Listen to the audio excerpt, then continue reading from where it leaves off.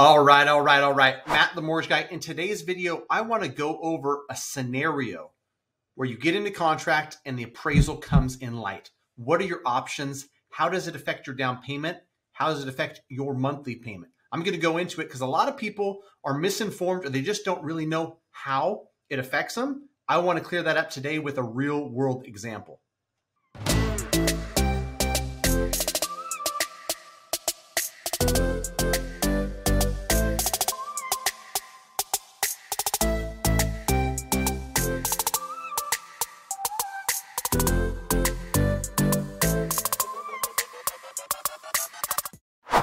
All right, before I jump into it, if you would consider like, comment, subscribe. If this content brings you value, a mortgage broker who's working in the field all day, every day, just providing you examples, questions I get from clients, and things like that, then please um, consider sharing this with somebody who you think might like it. Subscribe to the channel, like, leave a comment if you feel so inclined. All right, let me jump into this here. I have a scenario in front of me, um, real world scenario, right? And so I've got a $725,000 purchase price. And what I want to do is I want to look at um, exactly what's going to happen if it appraises at 710, if it appraises at 690. Most of the time, you get in a really competitive bidding situation where you might say, listen, it's going to take 725 to get an offer accepted on this property.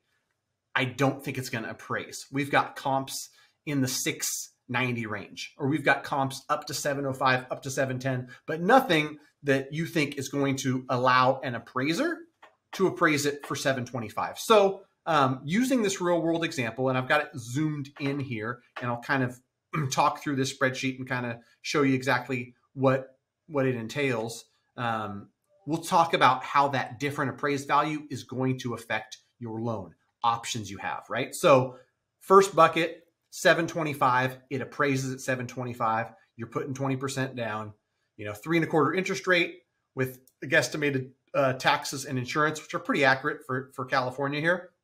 Your payment's going to be about $3,400 a month. Um, we've got this Excel spreadsheet to look exactly like a loan estimate. So you've got the lender stuff in box A, which you'll notice nothing being charged from us. You got the appraisal, you've got all the title fees in our mock-ups and our assumptions we just assume you pay everything as a buyer. So we've even got you paying transfer taxes and you know all the the title and escrow fees. It won't always be the case but just in this example let's use that. About $157000 cash to close. That's the 20% down plus all the closing costs all the prepaid tax and insurance. Now if it appraises at 710 $15,000 light. Here's the cool part. We've got a program called the MI Buster where you're going to be putting you're going to have a loan to value of above 80%, right? And everyone's been told, "Oh, if you don't put down 20%, you have mortgage insurance." Not necessarily the case if you got a program like this where it's an MI Buster. Only difference, only difference between B and C when we're talking about um, loan scenarios, 725 appraised value, 710 appraised value, is that in this second scenario, you've got a $493 cost.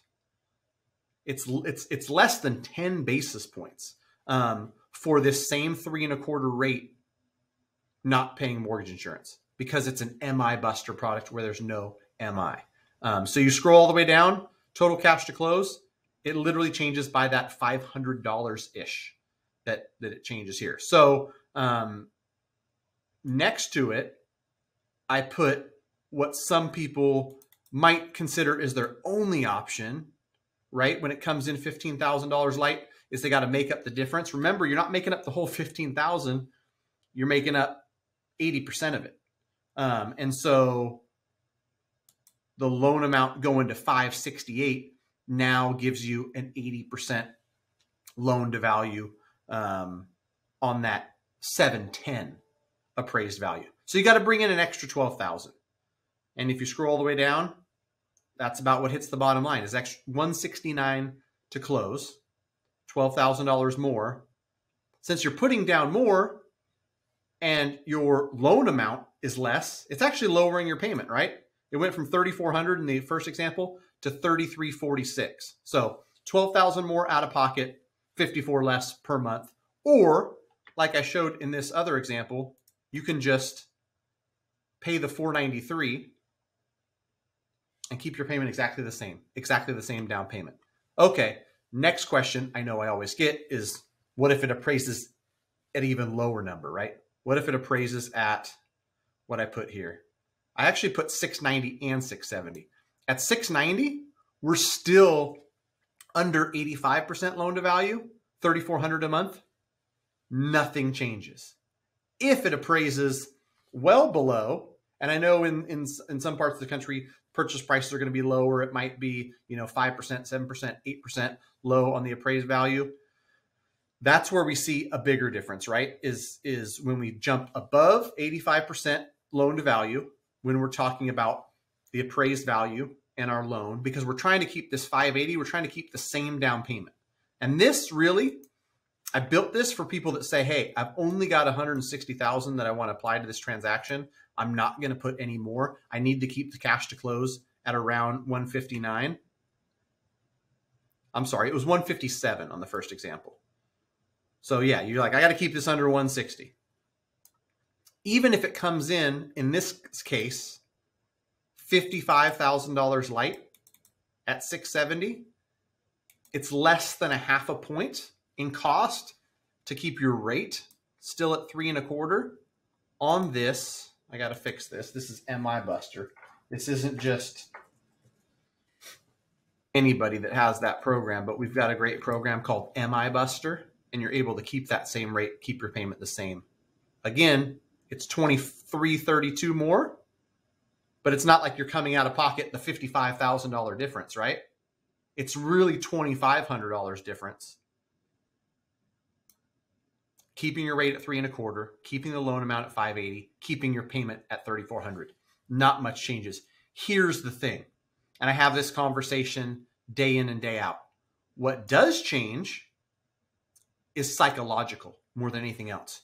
You've got to be okay with, let me fix this, knowing that you paid 725,000 an appraiser who, you know, an appraiser, it's their opinion of value on that day based on the information they have. They valued it at 670,000 on that day, right? That's the bigger hurdle than the financial hurdle in most cases, right? Um, and you know, for folks that are putting down 30% or 35%, little to nothing changes if they stay within the same bands, the same loan to value bands. And to, to simplify it, if someone goes from putting 35% down and you know the appraisal comes in 30,000 light and that puts them at you know a loan to value of 70% versus 65 nothing's going to change from our perspective as the lender, except for that sales price and appraised value are not going to match. You're going to have to be okay with that as a buyer that you're paying above that appraised value. If you're holding the real estate for a long term, if it's something that you're comfortable with on a monthly basis, I don't think that's a big deal, but I'm not the one who gets to make that decision, right? It's the buyer, it's their money they're putting up, it's their payment they're paying over the next 30 years it's it's ultimately your decision as the buyer. So um, hopefully this provided some insight.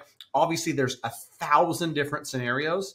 Whether you're putting down 35%, 20%, 10% on how this is going to affect you. This one really applies to someone putting down exactly 20%, someone who wants to avoid mortgage insurance, and someone who has a fixed amount that they're willing to put towards a purchase, right? In this case, we'll call it 160,000 we saw in this example that it can appraise up to $55,000 light and still have that same monthly payment with a very small increase in what we'll call costs.